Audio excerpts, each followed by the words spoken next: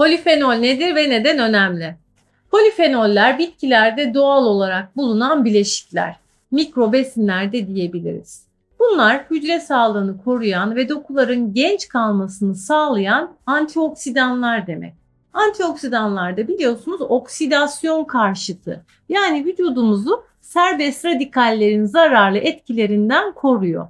Bu da bizim daha sağlıklı bir yaşam ve yaşlanma etkisini geciktirici tedbir almamız demek. Polifenoller ayrıca virüsleri, bakterileri ve mantarları da yok edebilme faydası yaratıyor. Zeytinyağındaki en bilinen polifenol ise oleuropein. İsmi zor olabilir ama aslında çok hayatımızın içinde olan bir madde. Bu madde meyvede, yaprakta ve dallarda bulunuyor. Zeytinin içerisindeki polifenol değeri her zaman sabit olmaz. Zeytinin çeşidine göre, zeytinin bölgesine göre, hasat zamanı, üretimin kalitesine bağlı olarak değişiklik gösterebilir.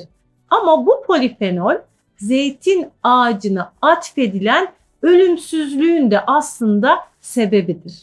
Efendim özetle zeytinyağının iyiliğinde bu değerli antioksidanların payı çok büyük. Zeytinyağını hayatımızın bir parçası yapmak da işte bu yüzden çok önemli ve çok değerli.